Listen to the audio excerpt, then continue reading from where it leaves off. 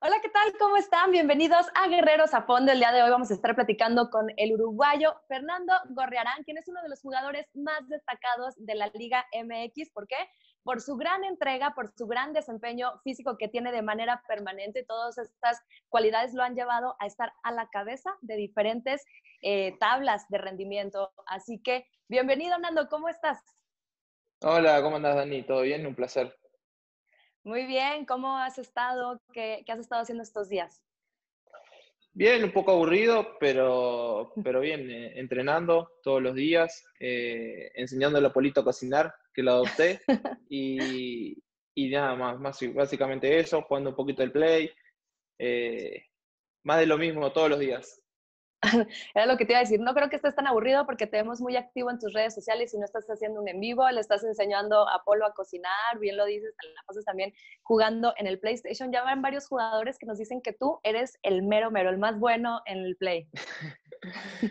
No, no, no, la verdad que mi equipo me ayuda. Eh, tengo un buen equipo, tengo un buen equipo. Oye, Nando, platícanos, eh, vamos a regresarnos ya muchísimo a tu infancia. ¿Cómo eras de pequeño? ¿Qué te gustaba hacer? ¿Cómo era tu personalidad? ¿También eras igual de alegre y de locochón como todavía lo eres? Sí, sí, la verdad que, que era un poco inquieto, diría mi madre, pero, pero no, sí, siempre fui así, alegre.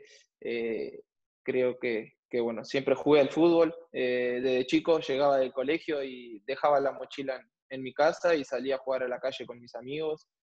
Eh, básicamente mi infancia siempre fue, fue así, eh, estar con mis amigos en la calle, que salga mi madre a la noche a buscarme o, mis hermanos. Eh, básicamente fue, fue toda mi infancia igual y, la verdad que, fue muy divertida. nos platicas que desde pequeño andabas ahí en la calle jugando fútbol. ¿Tú en esos momentos te visualizabas, te imaginabas que pudieras ser un futbolista profesional? No sé si me visualizaba, pero sí lo soñaba. Eh, fue un sueño que tuve de chiquito. Me crié con la pelota, me crié con mi hermano jugando en primera división. Creo que, que bueno, eso también ayudó mucho. El, cuando era bebé, salir en los brazos de mi hermano a jugar a la calle, eh, creo que fue todo una ayuda para, para ser hoy lo que soy hoy en día. ¿Y a qué jugadores admirabas en esas épocas? Y miraba mucho eh, en River, donde debuté, porque era del barrio, entonces iba con, mis hermanos a mirar eh, los partidos. Eh, bueno, en el 2009, 2008 también miraba mucho Barcelona, me gustaba mucho Iniesta, Xavi Hernández. la verdad que, son grandes jugadores y aprendí mucho de ellos también. Ahorita que mencionabas que debutaste con River Plate en Uruguay, fue en el año 2014, creo que tenías 19 años. Platícanos cómo viviste ese momento ya cuando por fin tu sueño se hace realidad y debutas en el fútbol profesional. Sí, fue el 2014, el 2 de febrero. Eh, la verdad que, fue un día muy largo, porque me acuerdo que jugamos en la noche eh, y concentrábamos, igual que acá y todo el día pensando, eh, haciéndome imaginándome el partido que iba a jugar. Eh, yo ya sabía que iba a jugar toda la semana y imaginándomelo, el, el hacer todas las cosas bien, eh, como que un poco de estrés, pero, pero en fin disfrutándolo demasiado porque, porque era un sueño de chico, como lo decís vos, y, y la verdad que fue algo muy hermoso. ¿Siempre jugaste en la posición de mediocampista? Eh, jugaba mismo con el profe Guillermo, he jugado de volante por afuera, eh, empecé ahí, pero me siento cómodo en cualquier posición, no, no tengo problema de, jugar eh, por afuera, por adentro, no me siento cómodo de la misma manera. Oye, Nando, platícanos de este momento tan importante en la carrera de un futbolista y es el momento en el que anotas tu primer gol. ¿Cómo fue? Eh, ¿Contra quién fue? ¿Cómo lo viviste? ¿Cómo fue el festejo? ¿Se lo dedicaste a alguien? Eh, me acuerdo, sí fue en el Parque Central contra Nacional. Eh, la verdad que, que, fue un momento muy hermoso. Estaba toda mi familia ahí también. siempre mi padre y mis hermanos iban a verme a todos los partidos. Y se lo dediqué a ellos más que nada por, por bueno, que se cumplía un sueño también de, de bueno, hacerle un gol a un grande, a un equipo importante en Uruguay. eh, todo el sacrificio que hizo mi familia por mí, por, por comprarme un par de, zapatos de fútbol. Eh, la verdad que, que, fue un sacrificio enorme lo que hicieron ellos y, verlo reflejado en su felicidad cuando, cuando yo entro a jugar cada partido y mismo cuando hago algún gol, eh, creo que, que, es una felicidad muy enorme que me causa. Nando, bueno, pues tú estuviste jugando mucho ahí en el barrio con tus amigos en, la calle, en tu colonia se cumple el sueño de jugar en primera división, ¿te imaginaste que ibas a ganar dinero, que te iban a pagar por hacer lo que más te gustaba, por hacer tu sueño? ¿Te, te lo imaginabas y cómo fue cuando recibiste tu primer sueldo? ¿Qué fue lo primero que hiciste con él? ¿En qué te lo gastaste, pues? En un principio no. Eh, quizás suena irónico o no sé, quizás personas lo van a tomar mal, pero o sea, no pienso tanto en el dinero, sino en disfrutar lo que hago. Eh, hoy en día hago lo que amo, eh, me gusta levantarme temprano a entrenar, a, compartir un mate con un compañero en el vestuario, eh, el divertirme día a día con ellos, paso más tiempo con ellos que con mi familia. la verdad que, que, es algo hermoso lo que hago y, y, sí, por segundo, por segundo tema viene el tema del dinero que también ayuda, no se puede negar. Y, y con el primer sueldo lo gasté en un asado con toda mi familia, con mis tíos, mis primos, eh, mis hermanos, mis cuñadas, todo. Qué padre, les, los invitaste en esta ocasión tú. Oye, y luego, eh, parte de tu carrera en el 2017, llega un momento muy importante, te toca irte a vivir a otro país, en otro continente, te vas a Hungría ¿Cómo fue esta oportunidad? Es una gran oportunidad en tu carrera y cómo la viviste, cómo fue este cambio de irte totalmente a otro continente y estar viviendo ya una nueva etapa en tu carrera profesional. Sí, fue un cambio rotundo. Eh, sabía que, que, lo que iba a hacer estar lejos de mis amigos, de mi familia, eh, el no poder compartir con ellos todos los días como, como lo hacía en Uruguay. Eh, pensé que iba a ser un poco complicado, pero me encontré con, con un gran equipo, con latinos allá que, bueno, me ayudaron mucho en el tema de la adaptación. Eh, siempre estuvieron a disposición mía. Eh, mi familia también siempre viajó. La verdad que, fue una decisión que tomé en, su momento y, la verdad que fue sumamente positiva. ¿Y cómo fue tu adaptación deportiva al equipo? No, bien. Eh, desde el primer momento llegué y, y jugué. el entrenador me había pedido. Eh, creo que, bueno, tuve esa suerte de, bueno, llegar y ya, ya tener un, puesto en el equipo, que, que, el equipo me apoye también. Habían jugadores eh, muy importantes en ese momento, que habían jugado Premier, Premier League. Eh, y la verdad que, que, fue algo que me ayudó mucho para, para bueno, el tema de la adaptación y, y irme muy bien como, como me fue. ¿Y cómo te fue en lo personal? ¿Cómo es vivir en otro país totalmente diferente, con costumbres muy diferentes, la comida, el idioma? ¿Cómo, cómo te fue en esa parte de adaptación? No, muy bien. Eh, comía básicamente lo mismo, eh, ensalada, pollo, había carne. Eh, en ese tema no, no, tuve mucha variedad en el tema alimenticio, pero, pero sí, quizás uno extraña el, el asado de Uruguay con, con los amigos, que, que bueno, eh, en el tema del deportista se sabe que no se puede comer mucho por el, por el tema de que no te hace tanto bien, pero sí en cada vacaciones trataba de disfrutarlo al máximo. ¿Aprendiste algo del idioma de allá? ¿Te, ¿Nos puedes decir aunque sea hola o algo? Eh, muy poquito, o sea, hola era CIA. Y, y si eran más de una persona, CIA. CIA. CIA.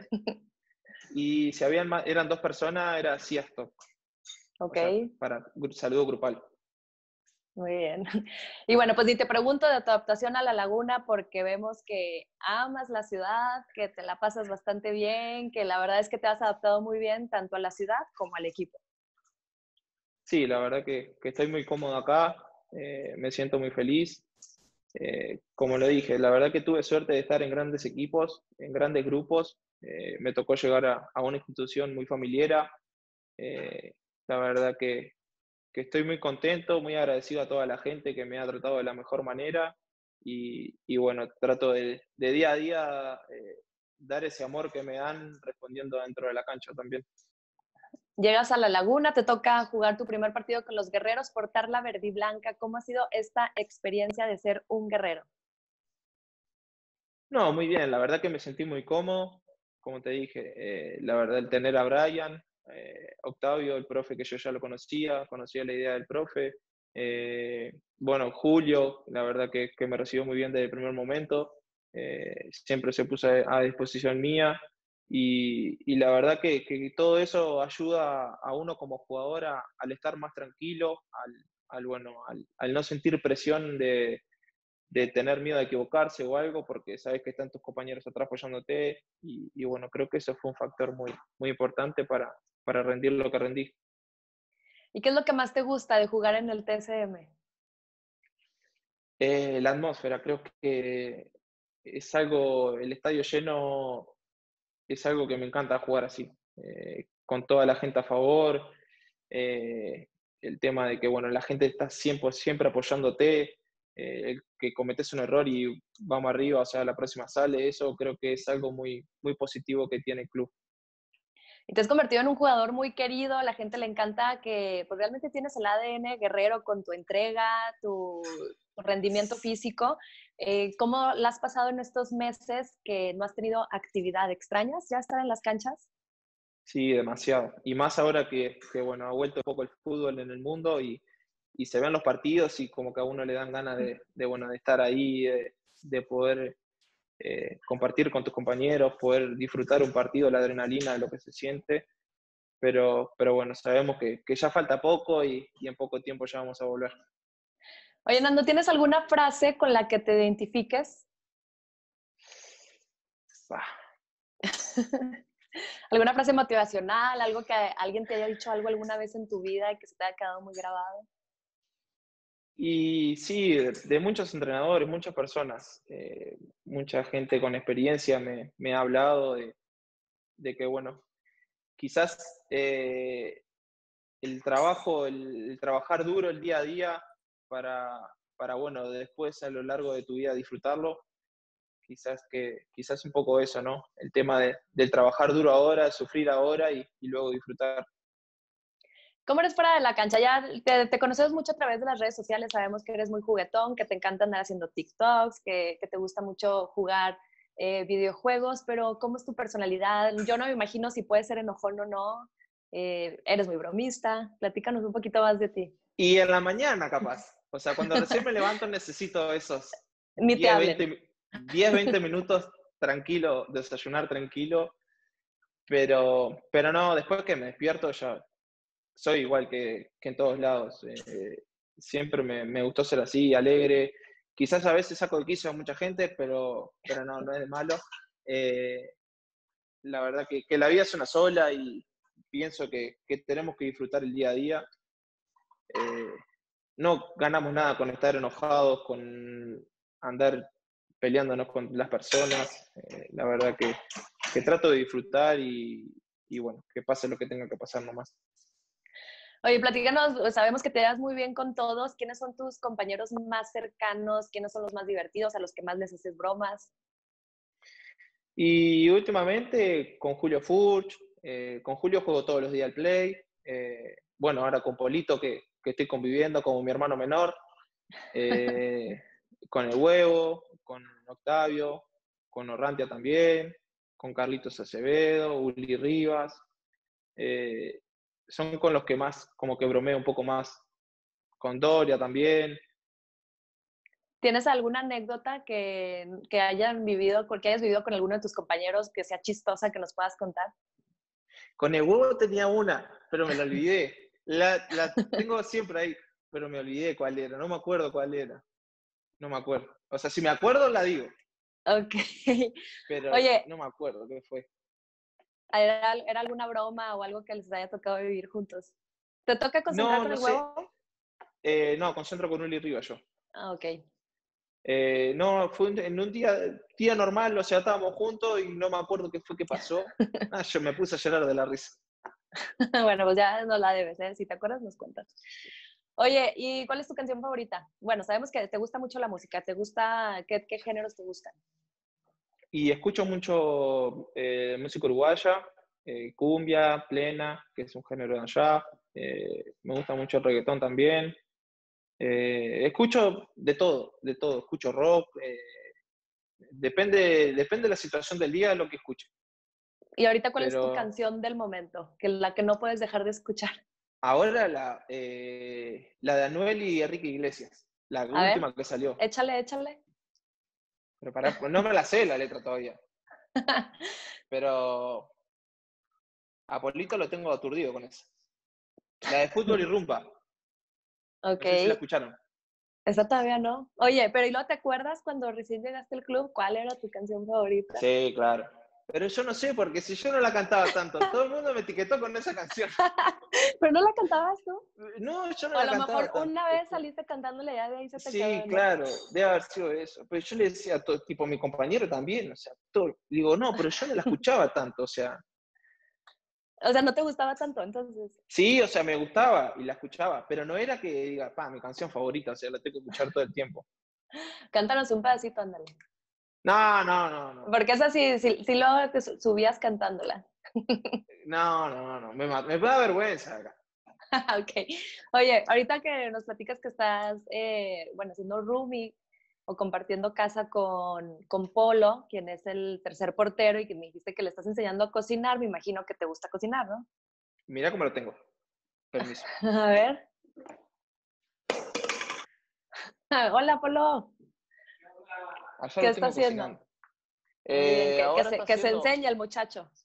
Pasta y pasta y milanesa al horno. ¿Y tú le enseñaste? Claro, todo. Le enseñé a hacer tortilla, que acá nunca comió. Eh, ¿Qué más? Todo, todo, todo le estoy enseñando. Oye, pues muy bien, que, que eres una buena influencia. Sí, lo tengo que llevar por buen camino. Oye, ¿qué es, ¿qué es, lo que más te gusta cocinar? ¿Qué es lo que nos puedes decir así que te queda excelente? La tortilla de verdura. O sea, es que no sé cómo, ustedes no le dicen así. No. ¿Cómo, cómo le, o sea, tortilla de espinaca, pero, o sea... ¿Con huevo o qué me imagino? Claro, huevo, cebolla, queso. Esa es la especialidad de Nando Bernal. 10 puntos. Y próximamente de Polo. Sí, claro. Oye, ¿y cuál es tu superhéroe favorito? Eh, pa. Spider-Man. ¿Spider-Man? Sí. ¿Por qué? Porque me gusta, o sea, estaría bueno tener el superpoder ese. claro, ir por, ir por, los techos. Me gustaría, estaría bueno. Oye, y bueno, pues sabemos que eres una persona muy familiar. ¿Quiénes son las personas más importantes en tu vida? Y mis hermanos y mis padres. Eh, mis sobrinos también, la verdad que, que bueno, eh, los extraño mucho. Igual estoy siempre en contacto con ellos. Eh, la verdad que, bueno, en esta situación iban a venir, pero, pero bueno, con todo esto que está pasando ya no pudieron viajar. Eh, pero bueno, ahora cuando pase todo quizás se, se, puedan venir. ¿Cuántos hermanos tienes? Dos, más grandes. Ok, o sea que tú eres el más chiquito. El bebé de la casa. Y ahora te toca ser el hermano más grande y el bebé de la casa es Polo. Es correcto, es correcto. te toca ponerlo a cocinar, a limpiar, a todo, ¿eh? Es correcto. Oye, platícanos qué significa Santos para ti. Y la verdad que mucho en mi vida. Eh, me dio la oportunidad de, demostrarme en una gran liga, como es la Liga Mexicana. Me abrió las puertas para, para bueno, si, si hoy en día tengo un nombre y, y el mundo habla de mí y muchos equipos están interesados, es gracias a Santos. Y se los agradezco mucho. La verdad que, que lo he hablado con gente del club hace poco, estoy totalmente agradecido y, y me encantaría darle muchos. Eh, no sé cuánto tiempo me queda acá, sinceramente, no depende de mí, pero, pero sí que me gustaría ganar cosas importantes con el club. Muy bien, pues nosotros felices de que estés aquí, eh, que seas parte de los guerreros, Nando. Muchísimas gracias por darnos esta entrevista, por compartirnos un, un ratito cosas que igual y no conocemos mucho de ti. Ya por último, me gustaría que le dejaras un mensaje a la afición. Eh, es complicado esto, no me gusta. Me pongo nervioso con las cámaras. Eh, pero no, la verdad que agradecerles primero que nada eh, por el apoyo hacia el equipo, hacia mí también. la verdad que, que, es una afición muy fiel. me di cuenta de eso en el poco tiempo que, que estoy acá. Son muy amables y, la verdad que confían en nosotros. que nosotros estamos dando lo mejor de, sí para, bueno, tratar de ganar cada partido. Eh, muchas veces lo podemos hacer bien o mal, pero que no tengan duda de que siempre vamos a dejar todo en la cancha porque, porque estoy eh, confiado de que, tenemos el mejor equipo del, plantel de, de México y que si seguimos así creo que podemos conseguir cosas importantes. Así será. Pues muchísimas gracias, dando mucho éxito. Esperemos vernos ya muy pronto en las canchas. Y bueno, pues esto fue Guerreros Zapón. Muchas gracias y saludos a ustedes.